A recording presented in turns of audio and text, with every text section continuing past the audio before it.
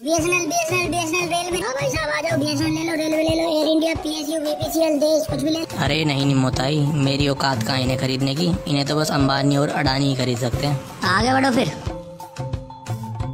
आओ भड़काओ भाषण की कैसेट लो भड़काओ भाषण की कैसेट लो देश के गद्दारों को। भाई साहब क्या क्या बेच रहे हो आप? हाई क्वालिटी में अनुराग ठाकुर और कपिल मिश्रा के भड़काओ भाषण की कैसेट और ये किताब सी क्या रखी है? अरे इसमें तो गालियाँ लिखी हुई है। अगर कोई सरकार से सवाल करे तो उसे माँ बहन की गाली कैसे दे?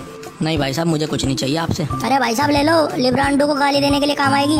दस रुपए की एक दर्जन चूड़ी दस रुपए की एक दर्जन चूड़ी। अरे ईरानी जी आप चूड़ियाँ बेच रही है? हाँ कांग्रेस के टाइम पे तो इन्हें मैं प्रधानमंत्री के घर भिजवाती थी महँगाई की वजह से।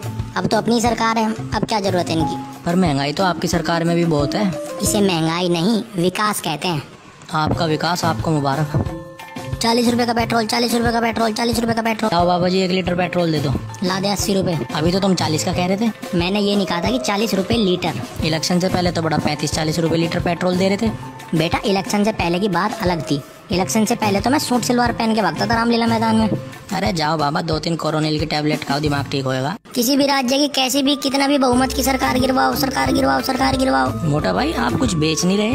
अरे हम बेचने वालों में से नहीं खरीदने वालों में से हैं। क्या खरीदते हो आप? जहाँ की सरकार गिरानी होती है उसके M P M L A मोटा भाई संविधान की रक्षा करनी तो कोई आपसे सीखे।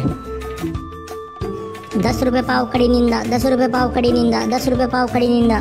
ये कौन बेच रहा है? भाइयों बहनों यह देश बदल रहा है लेकिन कुछ लोगों का दिमाग नहीं बदल रहा।